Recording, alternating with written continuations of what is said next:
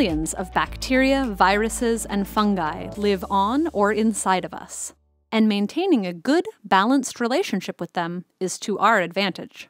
Together, they form the gut microbiome, a rich ecosystem that performs a variety of functions in our bodies. The bacteria in our guts can break down food the body can't digest, produce important nutrients, regulate the immune system, and protect against harmful germs. How many of you guys know who Hippocrates is? Have you all heard of him? He's an awesome guy, right? 3,000 years ago, he said, all disease begins in the gut. And now that's an idea that's time has come back. It's come around. And so, as a clinician, I always look at gut health first, no matter what. If our guts aren't functioning, if our digestive system isn't functioning well, nothing else will. Well, I'm here to talk to you about what I think is the most important organ, and that is the gut microbiome.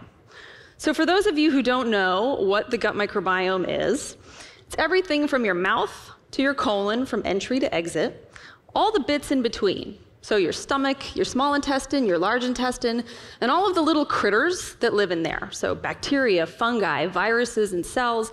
There are trillions of these little critters that are living in there.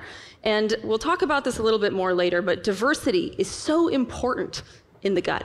And then, all of a sudden, I started hearing about the good bugs. And I go, what's that?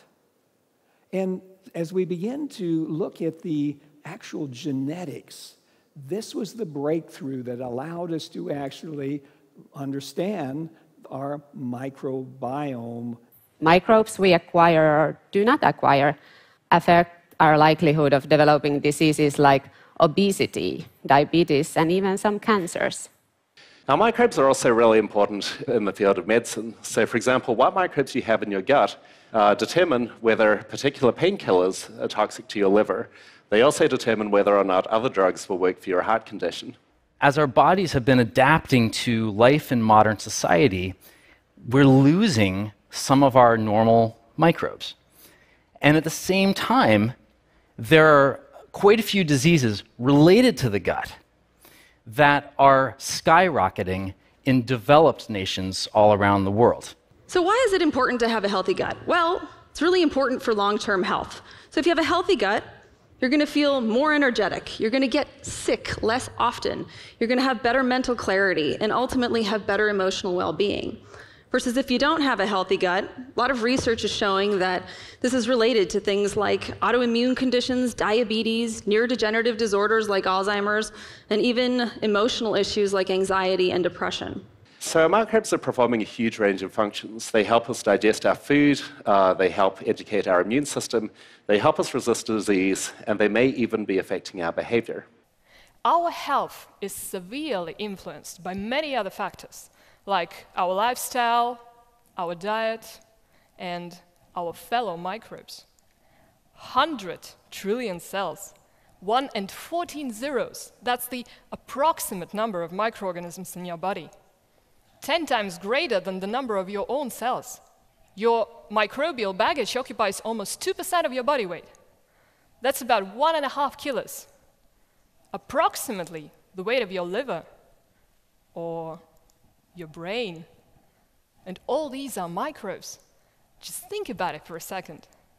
Human microbiome, that's the modern term for all microbial communities inhabiting your body, has earned a close attention over the last decade.